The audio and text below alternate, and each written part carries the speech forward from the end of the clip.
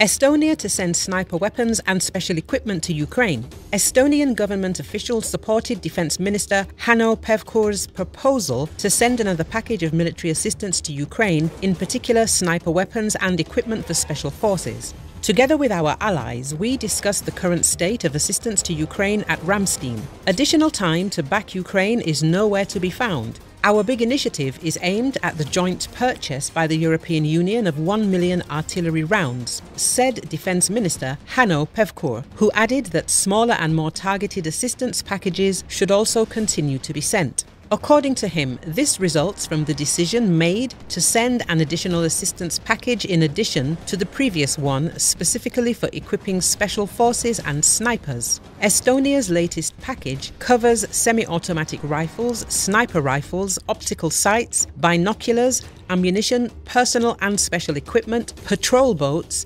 and thermal imaging cameras. Medical equipment will also be handed over. The total cost of military aid is worth 494,300 euros. Donating equipment does not affect the capabilities of the defence forces. Estonia has provided military assistance to Ukraine worth about 400 million euros or more than 1% of its GDP. The government of Finland approved the permission for Estonia to re export its military equipment to Ukraine.